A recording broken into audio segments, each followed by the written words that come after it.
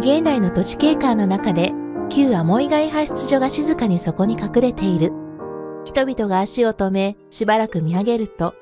その独特な風情を感じることができる。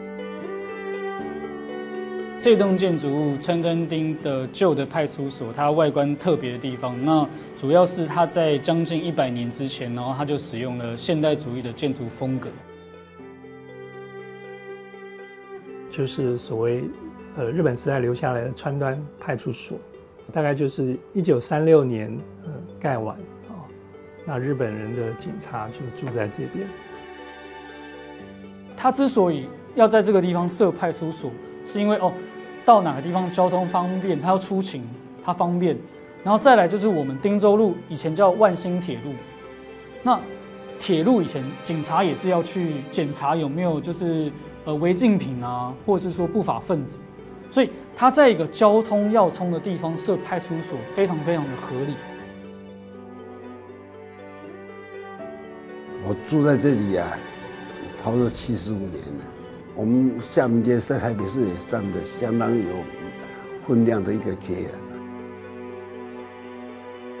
1936年に設置された川端町派出所は台北南警察署に所属していた。この所在地は 都市の中心部に位置し、重要な道路に面している。ここからは当時のアモ以外の重要性を伺うことができる。当时我当里长，我也是这个派出所的那个。民防中队的中队长，所以我这跟这个派出所渊源呐，以及历届的所长啊，都跟我相当的好。至于我们这个派出所是相当于有历史的，当时啊，这个派出所是日据时代就留存在这里呀。1945年11月1日、戦後のアモイ街派出所は台北市政府の管理下に移した。2010年には新たに中世第二部局アモイ街派出所が建設され、元の派出所の人員は新しい建物での業務に移した。2011年には管理権が台北市政府環境保護局に移管され、建物は無人で放置された。2015年、旧アモイ街派出所は台北市の歴史的建築物として登録され、戸籍の修復と再利用が始めた。扶着那个扶手往上走的时候，然后就仿佛有一种被召唤的感觉，就是好像有个声音在跟我说：“哎，就是你应该来，就是修复这栋建筑物。”因为它是非常早期的建筑物嘛，所以它可能就是一个基础的大底，那个砖上面有一些沟纹，我有点舍不得那些旧的砖，所以我就尽量用修补的方式。最后我们盘点出来是需要八千多片。八千多片我就很困扰，因为我不希望做到每一片都长得一样，所以我可能会有几种不同的类型，然后查它当初土的配方是什么，然后搭配着就是一起去烧，然后去烧出那个时间的质感。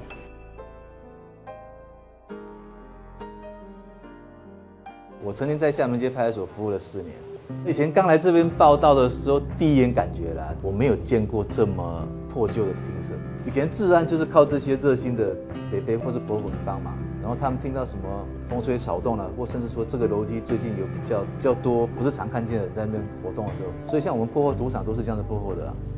以前的警察比较有人情味，以前的警察他负责的方面有查报违建、查报这个人口，啊啊，他还要去查访人口，好不好？所以他们比较有跟老百姓。哎，接触，自然就是人跟人发生的事情。离开这边快二十年了，到现在为止，还是有很多人碰到还是会打招呼啊，还是大家还是很亲切啊。古民家文化運動計画の推進により、昔のアモイ街派出所も再生の兆しを見せています。一楼其实当初就是设计成餐厅， 那二楼的话就是我们有一半的空间是租给服装设计师。然后这个讲座空间，那我们本身自己会办办讲座啊，然后办活动啊，包含品酒课啊、艺术蜡烛课、花艺课，还有浮雕画的课。那未来其实也会尝试说，就是各种课程。我觉得都市发展不应该是有新的地方就把旧的地方扔在那边不管，应该是新旧都要兼顾。这个是我作为以前这个厦门街的居民对这个地方的感想。那我是离开了十几年了，然后第一次十年后第一次进来这边，整个氛围完全不一样，也比较像古籍一点。就没有想过要放弃。然后包括像文化局副座啊田伟，他其实一直很担心我会跑路，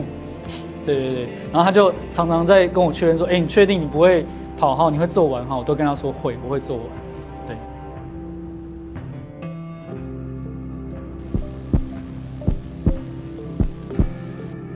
聞こえたか？それは古い旧アモイ街派出所の鼓動だ。旧アモイ街派出所から出発して城南の物語を聞いてみよう。歴史と記憶を大切にすることで私たちの今この瞬間に意味が生まれるのだ。